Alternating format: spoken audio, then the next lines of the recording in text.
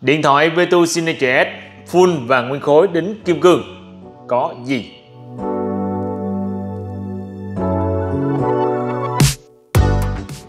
Nguyên, cái màn hình này được làm từ sapphire nguyên khối và sapphire nguyên khối có độ cứng xếp chỉ sau kim cương. Bộ vỏ này được làm hoàn toàn từ vàng nguyên khối chế tác ra vàng Âu 750. Kể cả phần khay sim để chứa sim cũng được làm hoàn toàn từ vàng nguyên khối chế tác ra Âu 750. Nguyên miếng vàng.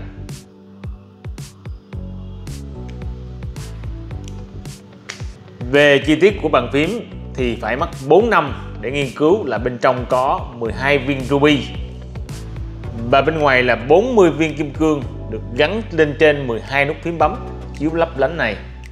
Ở chi tiết của phím 5 chiều được đính full kim cương và phím chọn giữa là một viên kim cương phong thủy tài lộc vô cùng tốt, phong thủy rất đẹp. Bali 39 Âm thanh khởi động quyền thoại của V2 Phần đáy của chiếc điện thoại này được đính rất nhiều viên kim cương ở mặt trước và mặt sau. Phần nắp pin có chữ V lớn này cũng đính full kim cương. Phần V nhỏ này cũng đính full kim cương trên chữ V. Chi tiết bên hông sườn cũng được làm từ vàng nguyên khối.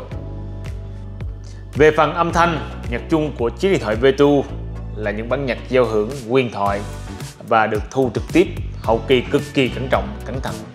Và những bản nhạc này đã trở thành quyền thoại của thương hiệu điện thoại luxury V2